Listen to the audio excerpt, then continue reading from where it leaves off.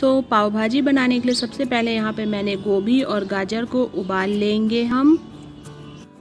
अब हमने कढ़ाई में यहाँ पे दो बड़े चम्मच घी लिया है। आप चाहे तो मक्खन भी ले सकते हैं। इसमें मैंने दो बड़े चम्मच जीरा डाला है और इसके बाद हम इसमें टमाटर सबसे पहले फ्राई करेंगे।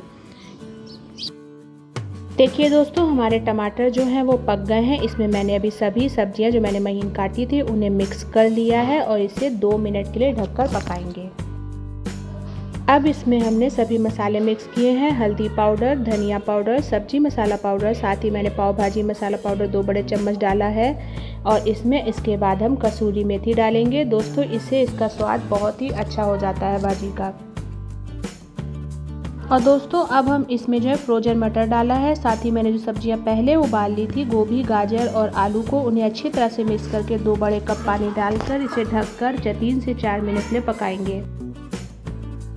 ये देखिए दोस्तों, हमारी पाव भाजी बनकर तैयार है। इसमें मैंने ऊपर से आधा चम्मच नींबू का रस भी मिलाया है और अब हम अपने पाव सेकेंगे। पाव सेकने के लिए मैंने यहाँ पे दो बड़े चम्मच मक्खन डाला है। इसमें महीन कटी हुई हरी धनिया डालेंगे। साथ ही इसमें मैंने पाव भाजी मसाला भी डाला है, जिससे कि पाव भाजी में पाव का स्वाद बहुत ही अच्छा आता है।